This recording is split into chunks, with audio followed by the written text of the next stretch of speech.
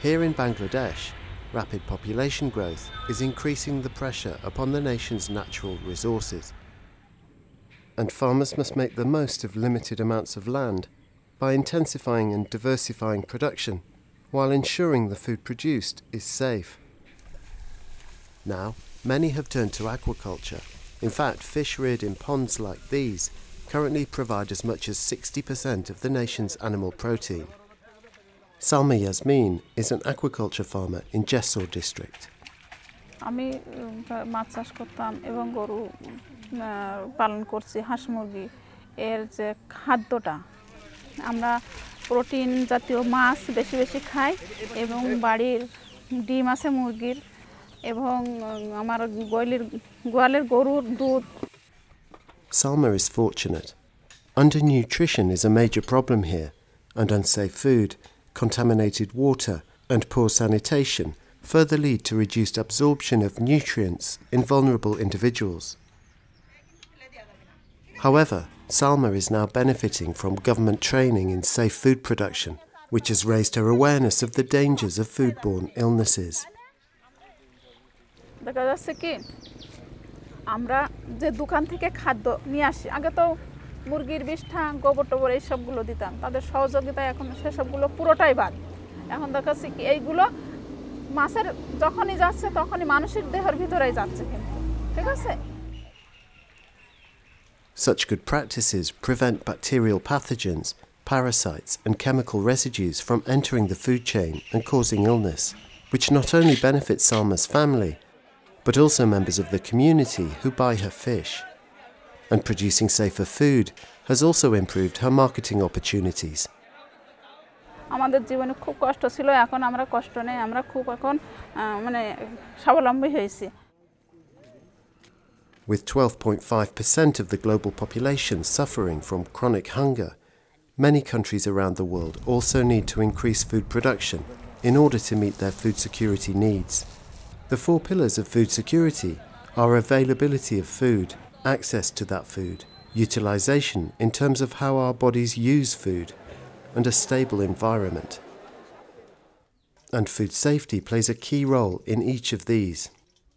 Food availability can be seriously undermined when food is no longer fit for consumption due to contamination by excessive residues, mycotoxins, or pathogenic organisms.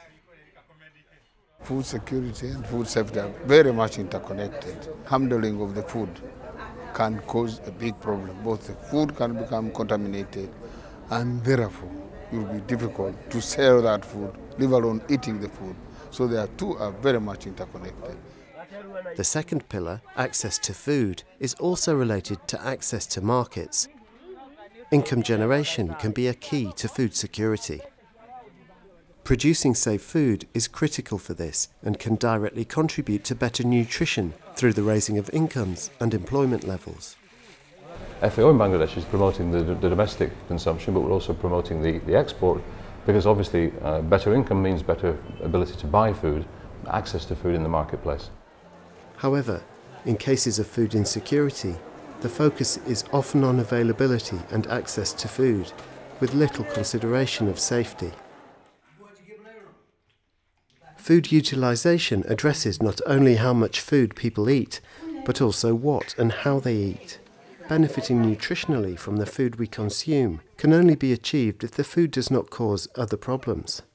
When food is unsafe, the nutritionally vulnerable suffer even more. Globally, every year approximately 2 million people die from diarrheal diseases from contaminated food and water.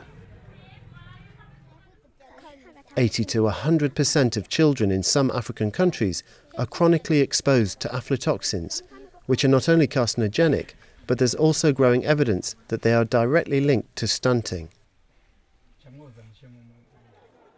And approximately 56 million people are currently infected with foodborne trematodes, a parasite found in meat.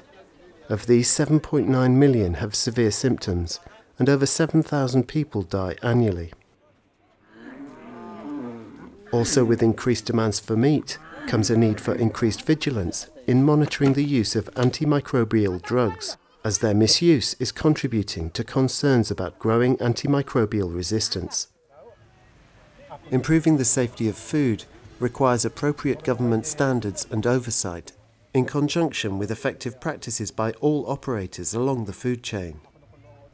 The public health inspectors who do uh, routine monitoring and surveillance of uh, um, food outlets uh, in the Cook Islands, I think, has helped to probably curb the, uh, the you know, foodborne disease outbreaks. While good practice starts on the farm with the safety of feed, it must be maintained throughout the whole food chain, all the way to the consumer. Everybody has a role to play to ensure that food is safe. We don't leave it to the regulatory agencies alone. Everybody in their own little way has to do their own little part to ensure that the food is safe. If we want to ensure food and nutrition security, we have to increase our efforts to provide safe food for all. There can be no food security without food safety.